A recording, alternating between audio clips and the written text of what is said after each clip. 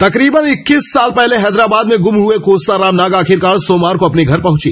बस्तर ज़िले के लोहंडी गुड़ा ब्लॉक के धूरा गाँव निवासी अट्ठावन वर्षीय कोसा राम नाग दो दशक पहले अपने परिवार पालने के लिए हैदराबाद मजदूरी करने चला गया था। लेकिन कोसा इस दौरान गुम हो गया।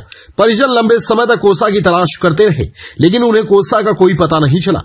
दो दशक बीत जाने के बाद हाल ही में कोसाराम नाग के राजस्थान गंगानगर स्थित शकुंतला सदन नामक एक सामाजिक संस्था में मौजूद होने की जानकारी लगी थी, जिसके बाद स्थानीय सामाजिक कार्यकर्ताओं के सहयोग से कोसाराम नाग की वापसी हो पाई। कोसाराम नाग के दो बेटे और एक बेटी है। दो दशक बाद पिता के घर लौटने पर परिजन काफ़ी खुश नज़र आए। बताया जा रहा है कि कोसाराम नाग गंगानगर के अपना घर नामक संस्था में भी पाँच साल रहा। तकरीबन नौ महीने का वक्त उसने शकुंतला सदन में भी काटा। Bureau report Jagdalpur. हमारा पिताजी गुम हो गया था बीस साल हुआ था ना पता था। अब मिल गया तो हम लोग को बहुत खुशी खुशी हो रहा है। हम बहुत खुशी में तीनों भाई एक बहन है दो भाई है।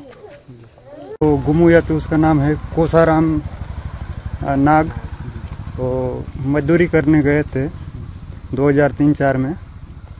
तो वहीं से लापता हो गए थे। हम लोग को इसी महीने की छः तारीख को वीडियो के द्वारा हम लोग को पता चला। उसके बाद हम लोगों ने सोचा कि इसको लेने जाना है करके, फिर हमारे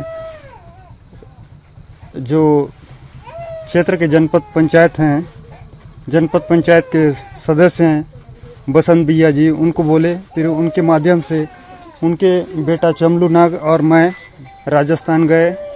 वहाँ एक अपना घर आश्रम संस्था में थे। वहाँ से हम लोग उनको लेकर आ गए आज।